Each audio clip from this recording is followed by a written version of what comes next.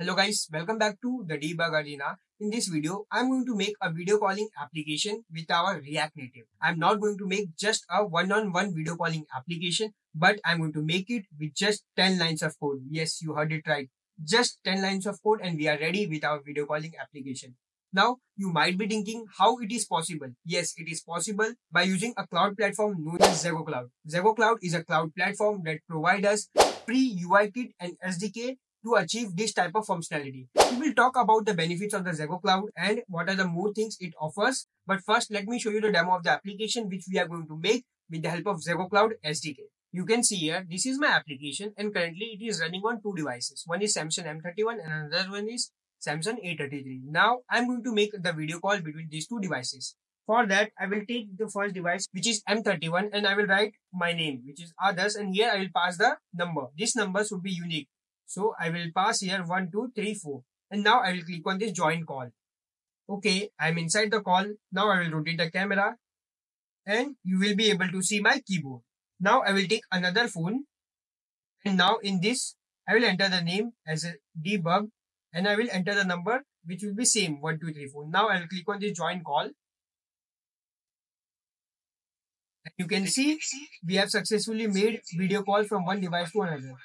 As of now, my voice is also echoing, so I will mute my mic.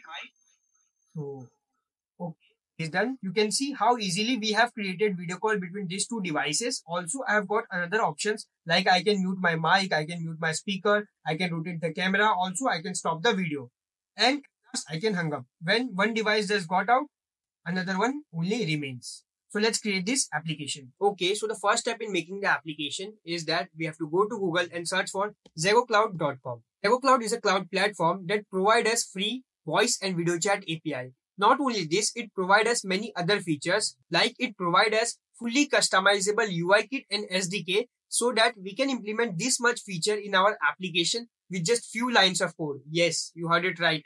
We can implement video call, voice call, live streaming, in-app chat, cloud recording and many much more with just few lines of code and all of these things for free. And also we can implement ZEGOCLOUD with any programming language. Like you can see here it doesn't matter whether we write code in android ios web flutter. It provides us a way to integrate ZEGOCLOUD in all of these programming languages. Also for the free version it doesn't require any credit card and it gives us up to 10,000 minutes of video calling and voice calling and in-app chat.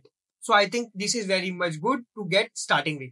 To use ZEGOCLOUD first we need to do the sign up. So you can click here the sign up process is very simple. I have already signed up and done the login. When you will do the login, you will be navigated to this dashboard. Now from here, we have to click on this create project and I am going to make this voice and video call. So I will select this. Now I will click on this next option. After that, I will give my project name, which is YouTube. Now I will scroll down and here you can see we have two ways to start with. First one is UI kit and another one is SDK. So I prefer this UI kit. So I will click on this start with UI kit. In UI kit, it also provides us option to customize the UI layout. So let's do that. My project is building. Now I will click on this start building your app. Okay. I'm going to select this React Native. Okay, done. Now here you can see this type of option. So I want this one-on-one call and with the call invitation and the standard face beautification. If you want other features also, then you have to buy premium, but I think this much is okay. Now I will click on this save and start to integrate. Okay, you can see here, this is my app ID and this is my app sign. Make sure you don't share this with anyone. Now I will click on this quick start. Now here, you will get all the steps to integrate ZEGOCLOUD in our React Native application. All these steps I'm going to show you in this video. So I will scroll down so the first thing is we have to build our React Native application. So I think I have already done that. Let me just open the application. As of now, this is my application. Currently in my app.js, there is nothing here. It is just hello. Also, I have not done any configuration. So let's do that. For that, I will go to documentation. Here, I will copy this command. We have to run this command. Then I will go to my CMD. Here, I will paste that command and hit on enter. After this, we have to run this command also. So I will copy this. Let's see another step until this package is installing. So after this, this is the example of how we can do the video calling and you can see only these lines of code are required to build a video calling app. So I will just scroll down and I think we have to add this also. So I will copy this and we have to add this inside src main android manifest.xml. So I will go there. This is my Android app build. Okay, not build src. And here there is inside main, there is android manifest.xml. So I will come here and I will paste that. We'll save this. Let me just follow another steps. So this step is done. Now I will scroll down. Now I have to add this. So I will copy this and we have to add this inside this file, which is Android app ProGuard rules.pro. And this was the setup for Android. For iOS, you can get the steps below. So I will go here. I have to go inside Android app and you can see here ProGuard rules.pro. So I will come here and I will paste that lines and I will save this. Let's wait for the installation to complete. Okay, it is done. Now let me just copy the another command, which was this. I will just scroll up. All the steps were done. Only this step is remaining. So I will copy this. I will go to my CMD. I will paste that. Hit enter. It is installing. We have to also integrate stack navigation in our React Native application. For that, I will go to React Navigation. If you want to learn React Navigation from start, you can check out my other video. In that, I have shown how you can create Stack Navigator, how you can create Draw Navigator, and how you can merge them and use them in your React Native application. For this project, I will just scroll down and we have to run this package. So I will copy this and go to my CMD. Okay, this was done. Now I will run this command. Then I will just scroll down a little bit and here you can see we have to run this also. So I will copy this. I will again go to CMD. Let's wait for the installation to complete. Okay, now I will run this. Hit enter. This is done. We have to go to navigators and we have to use stack navigator. So I will click on this native stack I can copy this command. So from React Navigation, we have to install three packages and from ZEGOCLOUD, we have to install all these packages, one and two. And we have to do this thing inside Android manifest and this inside ProGuard rules.pro. This was it for the installation process. We'll run this last command. It is done. Let's start with the coding. So I will restart my application. Okay, currently I'm in app.js and currently there is nothing. So I will remove this text from here and here I want to integrate our navigation. So for that, I will import one package known as navigation container. Sorry, not package, it is component from React Navigation Native. For that, I will go to documentation of React Navigation. From here, I can copy this thing and also this stack navigator. Just copy this. I will go there. If you want to learn how to implement stack navigator, then you can go and check out my previous videos.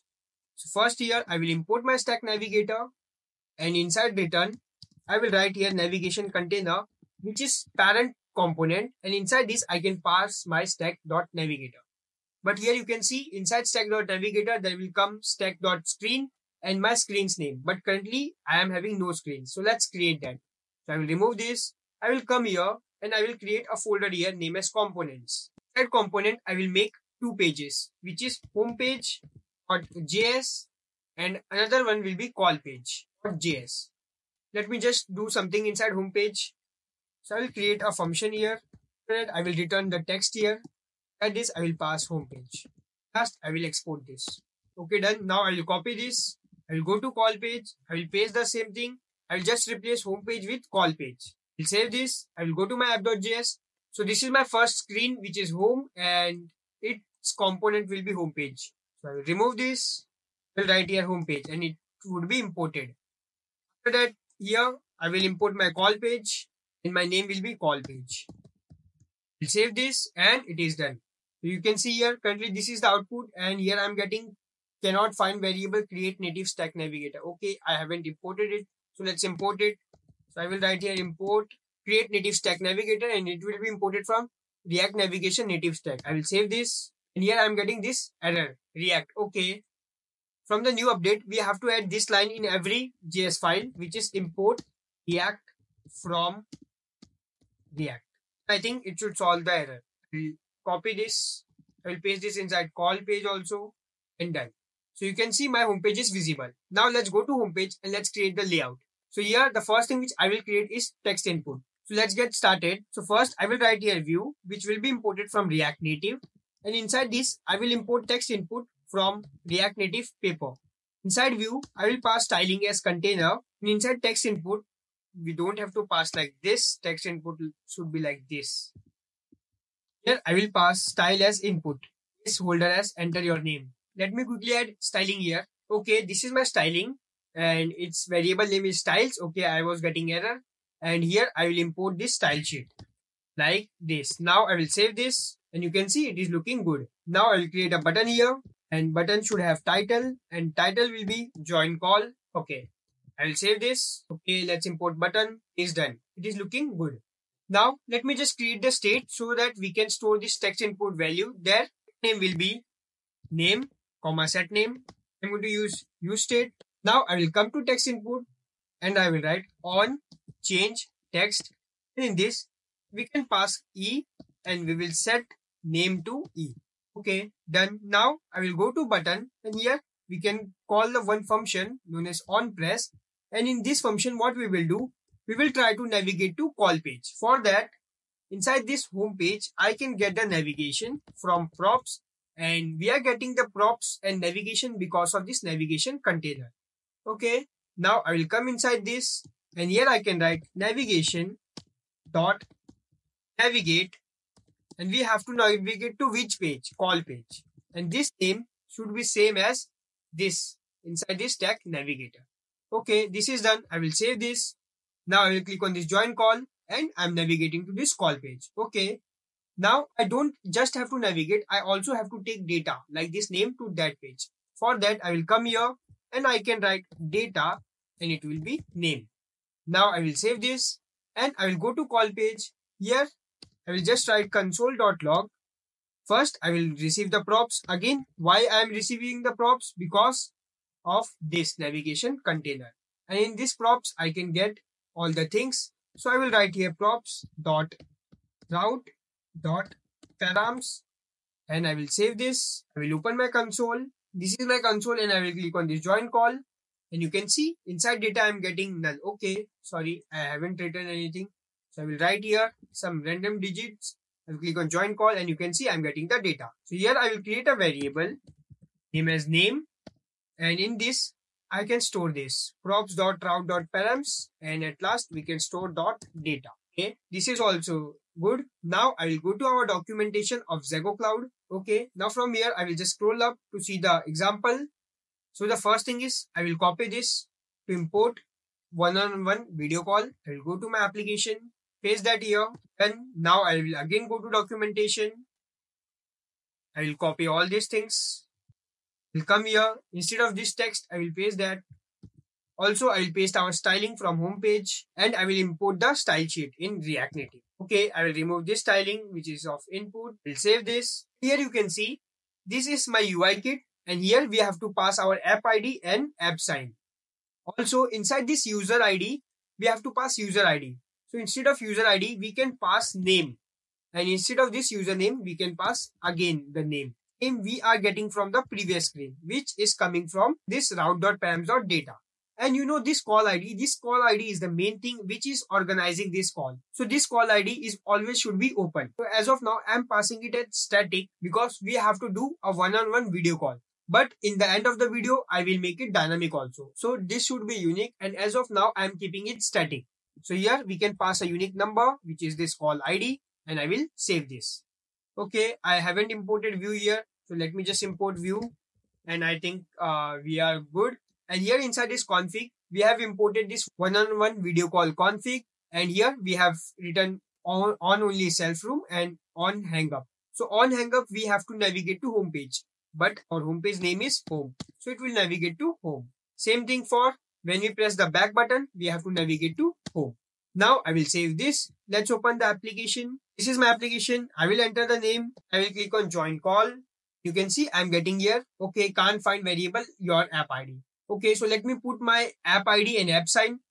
So for that, I can go to ZEGOCLOUD and here you can see this is my app ID and this is my app sign. You can paste your own app ID and app sign. So I will copy this. I will come here paste that. Make sure to paste app ID without string and app sign inside string.